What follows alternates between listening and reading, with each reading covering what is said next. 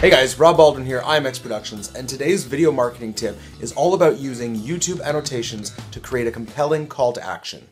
Now, it used to be when you finish your marketing video, you just say, thanks for watching, please go to our website, blah, blah, blah. But now with YouTube annotations, you can create, a, you have a lot more options and a lot more direction to give your audience. Uh, you can tell them to comment below, subscribe to your channel, all that good stuff. But you can also tell them to watch other videos and you can have links and even thumbnails of those videos right in there at the very end. So you've seen this little screen that I put at the end of my videos. It's fairly new. So as you can see, I've got some my social links there. I've got uh, links to some other videos. There's the URL right below me. You can create a nice static uh, template like this in Photoshop that you can then just paste in uh, thumbnails from your other videos, and or you can create an animated one using Adobe After Effects. Okay, now let's jump into uh, YouTube and I'll show you how to do that. Okay guys, so here we are in YouTube and I have just uploaded a sample of one of my uh, call to action templates at the end of my videos.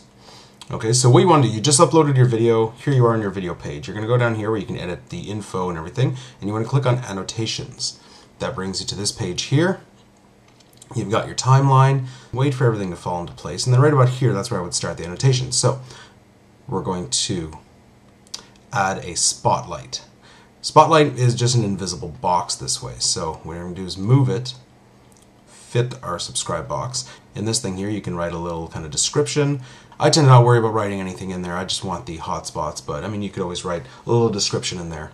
Okay, and then you're going to come down here to link. So here's where you can link different things. So you can link to a video, to a playlist, to a channel, to a Google Plus profile, to a fundraising project, to merch, or an associated website. Okay, so associated website, you have to make sure your website is first confirmed with Google, and then you associate it using um, your YouTube account. I will show you how to do that in a different video. For now, we're going to click subscribe for this one, and you're just going to go find your uh, username. Not, not your channel name, but your username. So you can preview that link, and that is indeed my account come back here and we're good to go. So then I want this annotation to last from when it arrives to the end of the video since this would be the end of my video. Okay, let's make another one. Let's do a spotlight. Let's make this video here. Click on link, video. Now just go grab that video somewhere else. Just need the URL. Paste it in there. And I'm going to hit open link in a new window. So it'll open in a new window. You can leave that. You don't have to do that.